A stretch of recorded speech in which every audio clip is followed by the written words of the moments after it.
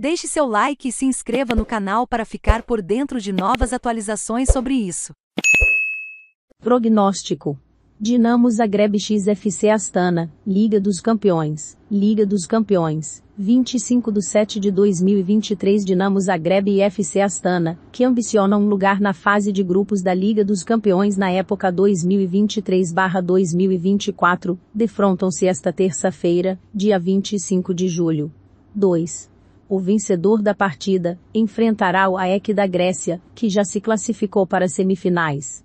A fase eliminatória da Liga dos Campeões é longa e relativamente complexa. Envolve um total de cinco etapas.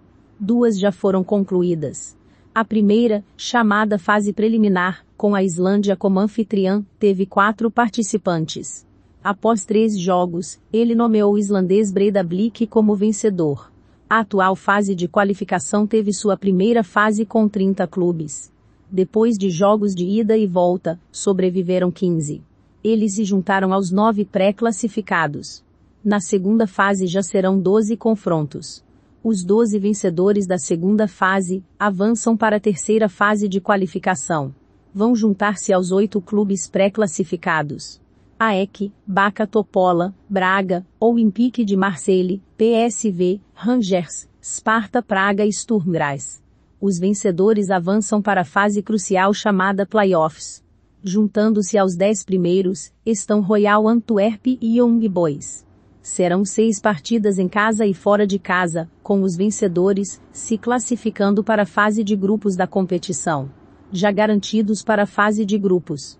Arsenal, Atlético de Madrid, Barcelona, Bayern de Munique, Benfica, Celtic, Estrela Vermelha, Borussia Dortmund, Feyenoord, Internazionale, Lazio, Leipzig, Lens, Manchester City, Manchester United, Milan, Napoli, Newcastle, Paris Saint-Germain, Porto, Real Madrid, Real Sociedade, Salzburg, Sevilla, Shakhtar Donetsk e Union Berlim. Dica de jogo: as cotações estão sujeitas a alterações. Última atualização 25 de 7 de 2023, 14 e 55. Visto que a Croácia está melhor colocada no ranking da UEFA, que organiza a Liga dos Campeões, o Dinamo Zagreb pode pular tanto a fase preliminar quanto a primeira fase de qualificação. Nesta terça-feira ele fará sua estreia no processo seletivo será o seu sétimo jogo na